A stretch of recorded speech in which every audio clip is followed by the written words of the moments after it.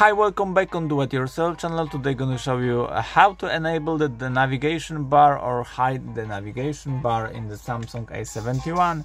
To do this operation, go to settings here and search for option display. Now go down and search for option navigation bar here and you have two options here.